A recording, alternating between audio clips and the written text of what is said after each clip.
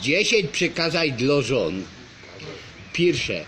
Ją jest mąż twój, którym cię wywiódł z niewoli panieńskiej, cierpie i zgryzo.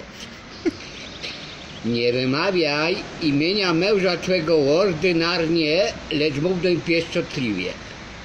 Czci ojca jego i matkę jego, albowiem oni obdarzyli cię kochanym mężem. Nie zabijaj miłości swojej do męża twego. Nie żądaj futer, szpilek, ani żadnych drogich rzeczy, które by zaciążyły na kieszeni męża twego. Nie wykradaj pieniędzy z kieszeni męża twego, kiedy wraca do domu w humorze. Nie mów fałszywego świadectwa, jakoby mąż wychodził po kawiarniach, restauracjach, pił wódkę, chociażby tak naprawdę było. Nie zradzaj męża twego. A dziesiąte jest najważniejsze. Nie żądaj więcej niż raz na dobę, gdy są jeszcze kobiety, które mężczyźni nie mają. Amen.